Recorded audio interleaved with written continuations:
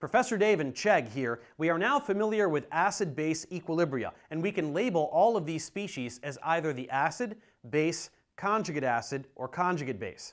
We have a generalized acid reacting with water, which will act as a base, which yields hydronium, the conjugate acid, as well as the conjugate base of the acid.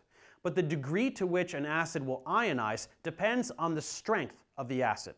How exactly do we determine whether an acid is strong or weak? This can get a little tricky, so let's go over some basic rules and examples.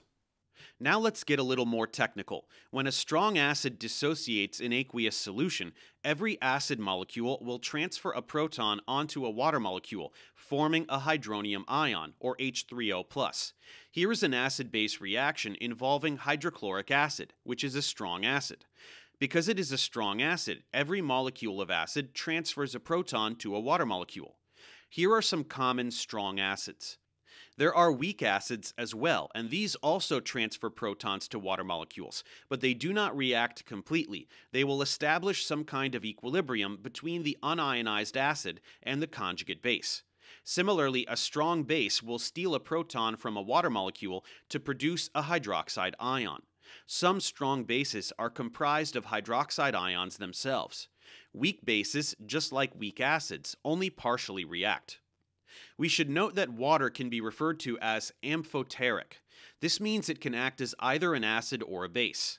We saw how water acts as a base in the presence of an acid, becoming hydronium, and in the presence of a base, water can act as an acid, becoming hydroxide. So, to reiterate, a strong acid, like hydrochloric acid or sulfuric acid, will completely ionize, meaning essentially every single molecule of acid will ionize by transferring a proton to a water molecule. But if the acid is weak, like acetic acid, it will not completely ionize. It will only partially ionize, meaning only some of the acid molecules will transfer a proton to a water molecule, thus establishing this equilibrium. The strength of the acid, or the extent to which an acid will ionize an aqueous solution, depends on its acid dissociation constant, Ka, and the larger the Ka, the more the equilibrium will favor products, which indicates a stronger acid. But how can we know the strength of an acid without knowing the Ka? In short, we really can't say with certainty, but there are some trends we can identify in molecular structure that act as guidelines for predicting acid strength. So let's make sure we know precisely what these are. First, we can note the location on the periodic table of the central atom in the acid or base. If we are looking at the binary acids in group 17, we can note that acidity increases going down the table. This has to do with the size of the anion that will be the conjugate base after deprotonation. The chloride ion is much larger than the fluoride ion, and this affects its ability to accommodate the negative charge. Bromide is larger, and iodide is larger still, which is why hydrobromic acid is stronger than hydrochloric acid, and hydroiodic acid is one of the strongest acids known. We can also say that acid strength increases moving to the right. This has to do with electronegativity. The more electronegative the element, the better it can accommodate a negative charge. So if methane were to deprotonate, carbon would be very bad at accommodating the negative charge, whereas nitrogen is slightly better, oxygen is better still, and fluorine is quite good at accommodating this charge. So the acidity of a central atom increases going down and to the right on the periodic table.